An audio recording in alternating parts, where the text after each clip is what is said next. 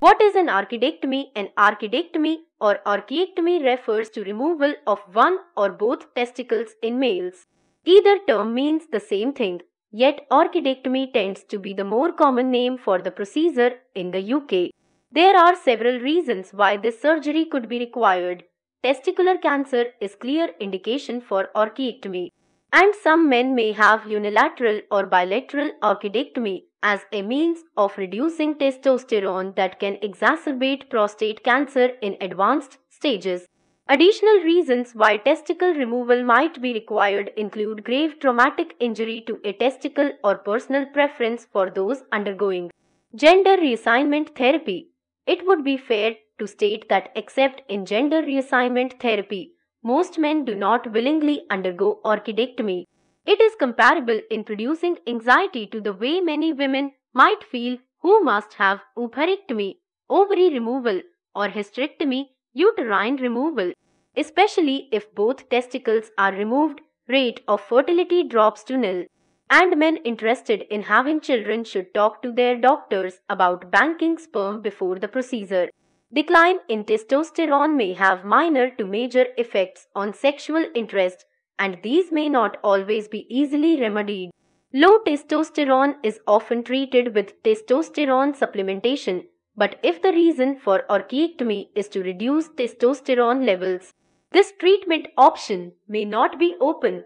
However, men should note that removal of a single testicle might not be dramatic in its after effects. Fertility is still possible and the remaining testicle continues to produce testosterone and sperm.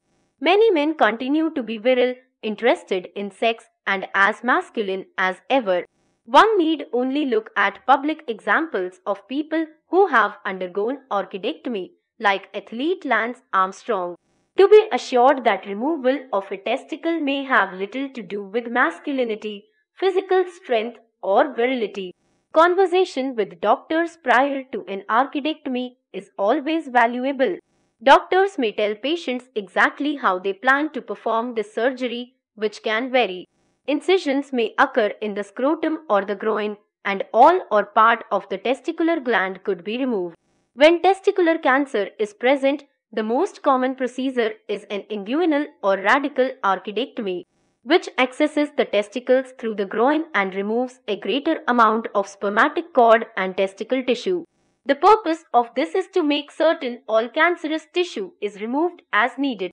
No surgeries are without risk and in addition to some sexual function issues.